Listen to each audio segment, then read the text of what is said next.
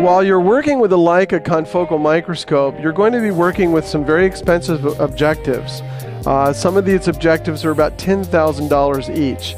And so it's very important that you understand the particular specific qualities of each objective.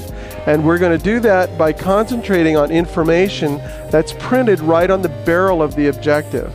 Now to do this, we're going to go to a diagram on the screen and we'll be discussing all of these things that are printed on the barrel of each objective. You'll see on this screen here a 60x objective and a cutaway. Now the, the first thing that I want you to notice is all of the lenses that are inside the objective. These individual lenses are used to correct for several different aberrations that are caused when we produce glass for magnification purposes. We're going to talk about those aberrations in a few minutes. But first, let's just talk about the information that's printed on the barrel of the objective itself so that you can understand what these things mean. The first thing you see on the objective, of course, it's a Nikon objective, but we'll be working with Leica objectives on the microscope that we're using. There's a description of the type of lens, Plan Apo. We'll discuss that again in a little bit. But more importantly, the magnification of the objective. Here it's printed 60x or 60 power. Now you're going to be working with a 20x objective. You're going to be working with a 20x uh, wet objective. So we'll have to talk about oil immersion and other immersion.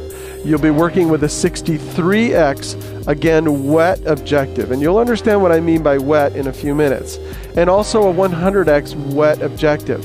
So here we have a 60x objective, and then it has a slash, and next to the slash it has a number 1.40. That number 1.40 is called the numerical aperture of the lens or the objective. Numerical aperture is a designation of the light gathering capability or the strength of the objective in producing a very well lit high resolution image. And you'll understand more about numerical aperture in a minute when we discuss that more. But numerical aperture is very important in order to achieve the actual numerical aperture that's printed on the objective, your microscope must be perfectly aligned. The condenser that we talked about has to be in the perfect vertical position. We're going to cover all this in detail.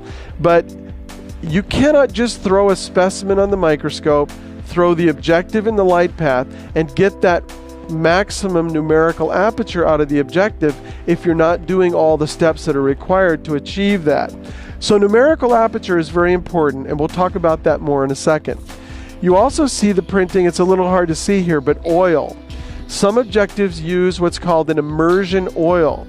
And so you have to put a drop of oil in between the front lens of the objective and the cover slip on the slide that you're looking at. Some objectives use glycerin, others are called water immersion objectives.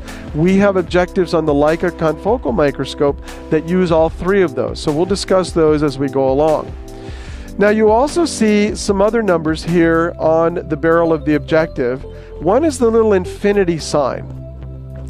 This brings up the topic of tube length. What is tube length? Tube length is the apparent distance that you see the image that you're looking at. It appears to you to either be at a distance at which you would hold a book to do reading. That's called 160 millimeter tube length because the book is 160 millimeters from your eye. That's one form of tube length. Most of the newer objectives are infinity corrected. So instead of having a fixed tube length where you would hold a book at 160 millimeters, you're now looking at an image that appears to be coming to you from infinity. That's important because all these objectives from the different manufacturers can be screwed onto the different microscopes, but they're not always compatible we have an infinity optically corrected system on the Leica confocal microscope. So you cannot use objectives that say 160, and they would say 160 right here. This one says infinity. So we have to use all infinity objectives. There's also another very important number right next to the tube length, and in this case it's 0.17. That is the thickness of your cover glass. Again, in order to achieve the highest numerical aperture from your objective, you must use a cover glass of 0.17 millimeter thickness. Now, this can be confusing because some manufacturers sell cover slips that are labeled number one or number two or number one and a half. How do those numbers relate to the number that's painted onto the barrel of my objective?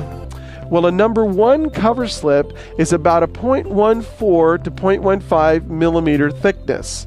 A one and a half cover slip is a 0.17. A number two cover slip is 0.19 or a 0.20. That's a little too thick.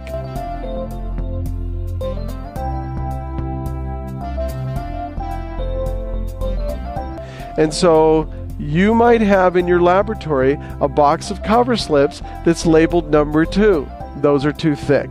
You should use a number one and a half, which is a 0.17 millimeter thickness on your cover slip.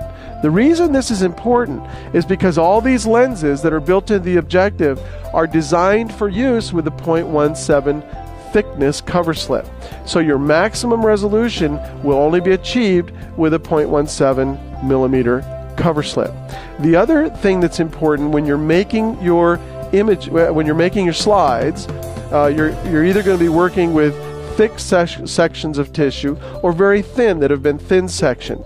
What's important is not so much the thickness of your specimen, because a confocal microscope can accommodate a fairly thick specimen, but the mounting medium that you use to glue that cover slip in place is also very important because of a thing called refractive index, and we'll talk about that also.